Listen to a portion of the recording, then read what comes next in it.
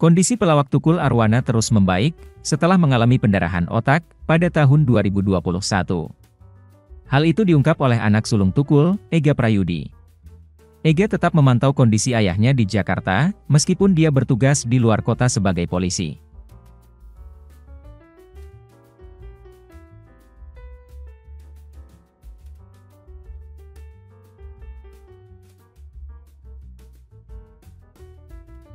Ega mengatakan, Tukul juga masih rutin menjalani terapi untuk mempercepat pemulihannya. Tukul menjalani terapi wicara dan fisioterapi setiap minggu. Diberitakan sebelumnya, Tukul sempat dilarikan ke rumah sakit lantaran tak sadarkan diri pada September 2021.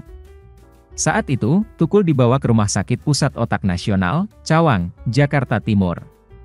Tukul sempat menjalani operasi di bagian otaknya, dan sejak saat itu terus menjalani fisioterapi hingga terapi wicara.